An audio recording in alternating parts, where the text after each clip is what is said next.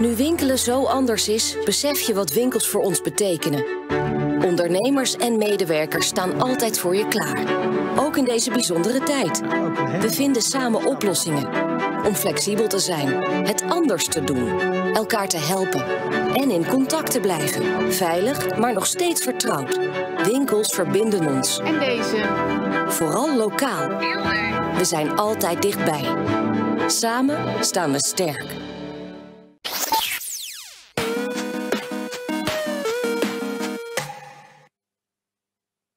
Kijkers, mijn naam is Stef Landwijk, werkzaam bij Source Twente als combinatiefunctionaris sport. Vandaag wil ik jullie meenemen in een aantal oefeningen in de racketsport waarmee je thuis kunt oefenen, eventueel ter uitbreiding buiten of binnen, dat kun je dan zelf bepalen. Mijn doel is eigenlijk niet om uh, op de stoel te gaan zitten van de trainers of docenten in onze, in onze gemeenschap hier. Eigenlijk wil ik daar de samenwerking mee opzoeken en vooral ook die mensen vragen van ja, zie je uitbreiding, uitbreiding of verbeteringen mogelijk? Laat het ons vooral weten. Ook voor de deelnemers die hier vandaag mee uh, gaan stoeien, laat ons uh, creatieve tips of ideeën voor deze oefeningen uh, gerust weten via aan het einde van het filmpje contactgegevens wat te staan en dan kun je het ons laten weten.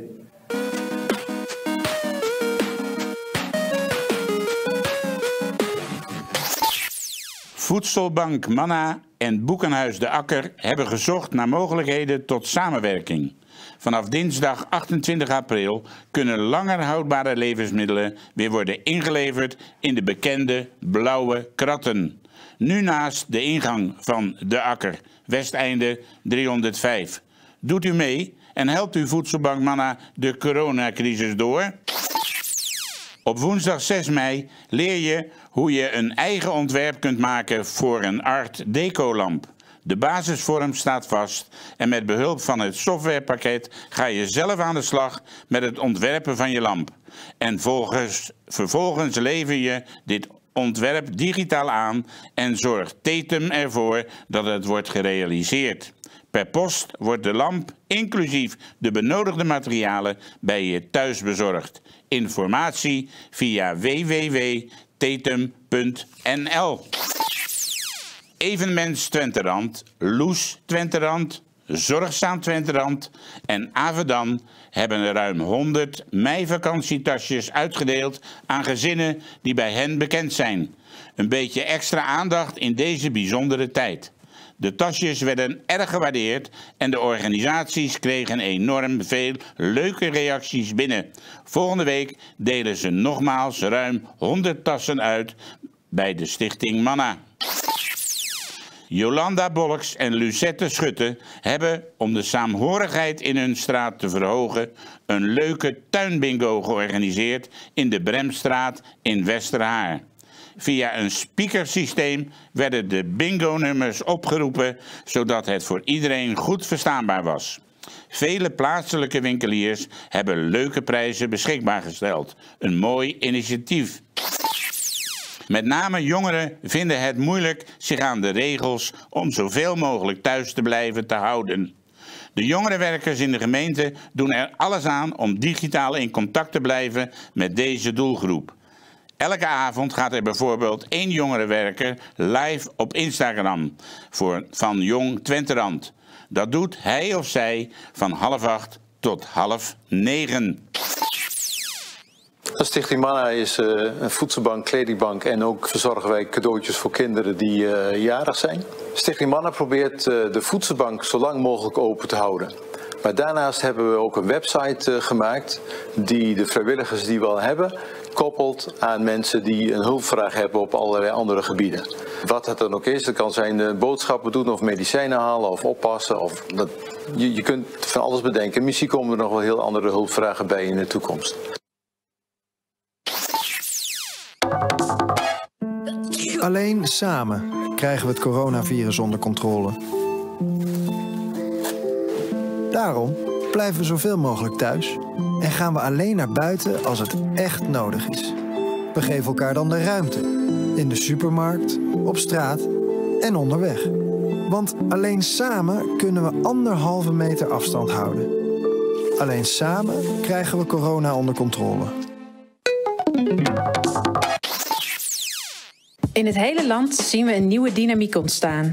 Het is stil op straat, op de schoolpleinen, bij de kinderopvang en in de verzorgingshuizen.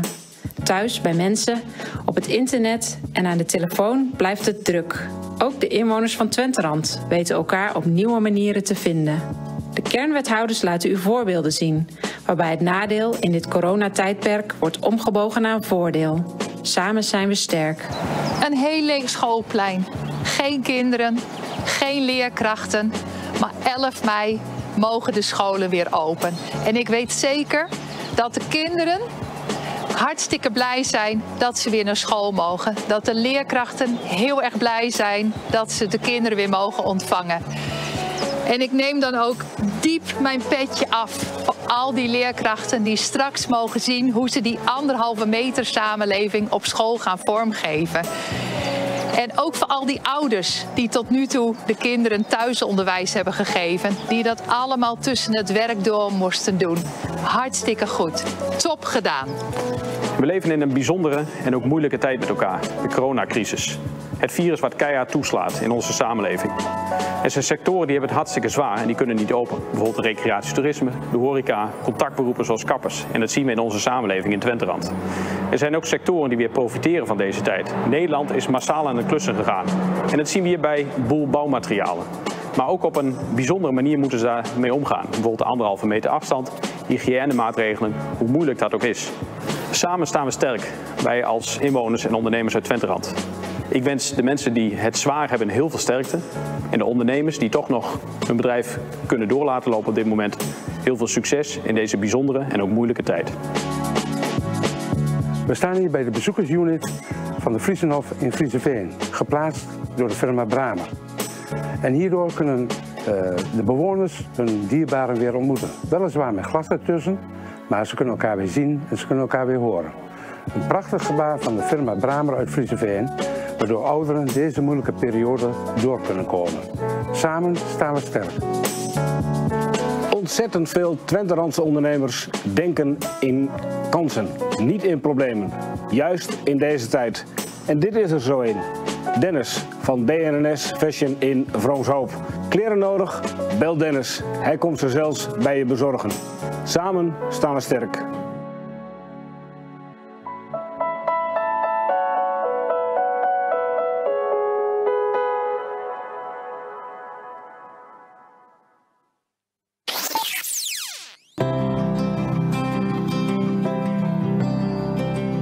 Medewerkers van Zorgschem Twenterand besteden zorg aan welzijn. Ze werken deze periode grotendeels vanuit huis, maar gaan hier creatief mee om. Deelnemers, bezoekers en vrijwilligers proberen wij telefonisch of per e-mail te vragen hoe het met hen gaat en of we nog iets voor hen kunnen doen.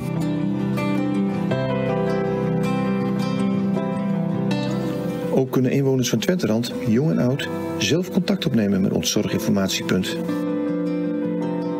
Zit u bijvoorbeeld thuis en kunt u geen boodschappen doen? Of kunt u niet zelf koken? Of heeft u moeite om uw dag in te vullen? Neem dan gerust contact met ons op. Wij weten welke hulp er bij u in de buurt te krijgen is.